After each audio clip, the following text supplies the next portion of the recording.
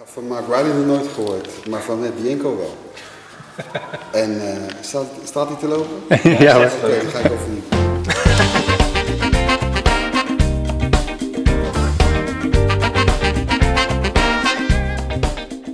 Mark Riley, de naam was Mark Riley niet zozeer, maar toen ik wist aan, uh, aan wie die naam gekoppeld is met, met zijn, zijn werk van, met Matt Bianco, het is in mijn tienerjaren draaide ik dat grijs. Dat is te gek. Mooie trompetsolo's, goede liedjes.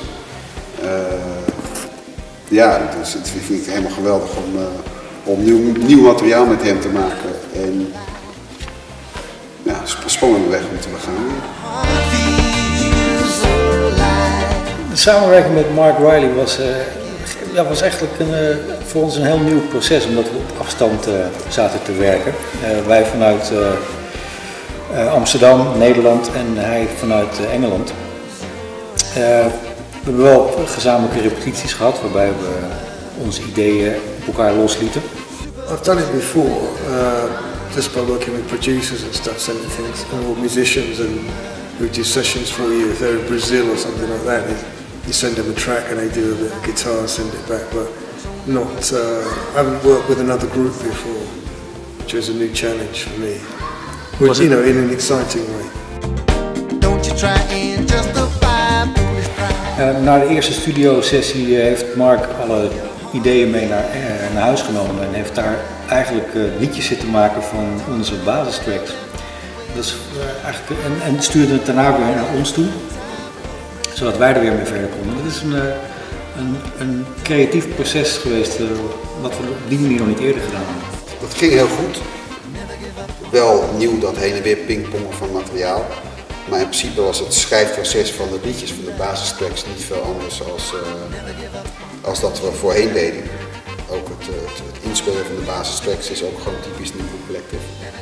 En uh, ja, het is net alsof we opeens een hele goede zanger in onze band hebben.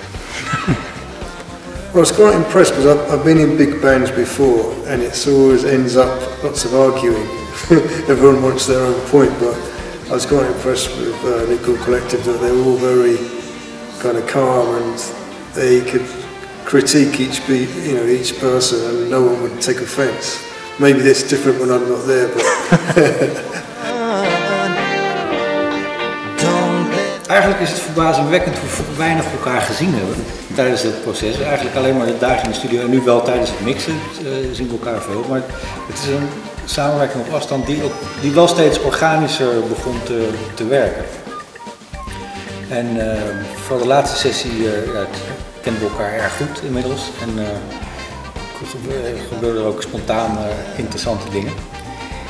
En nu tijdens het mixen valt alles mooi bij elkaar. Het een gek plaatje.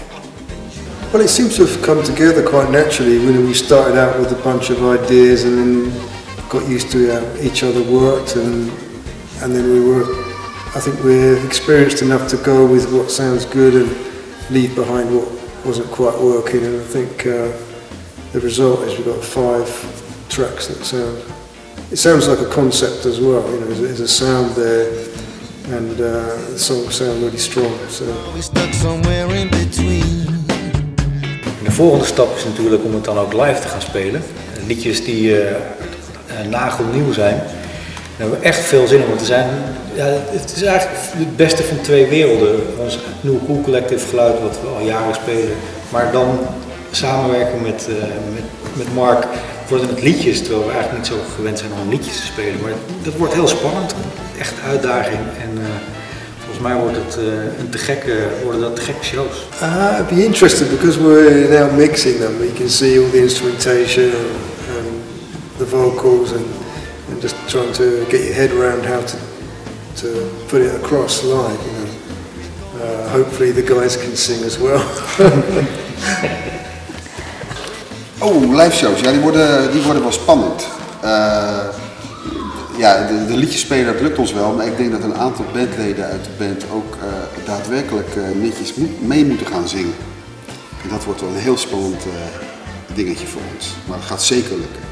I hope you like get to hear the, the, tracks and come to the show. It's going to be great. Know, uh, nine nine guys uh, who enjoy playing live. You know, Be good.